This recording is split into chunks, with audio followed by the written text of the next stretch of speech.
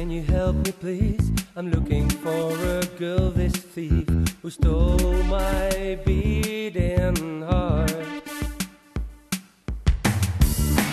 Just a moment ago, I saw her walking down this street. I knew that I was lost, but now she's gone without a trace, and I can't forget her face. I feel like she has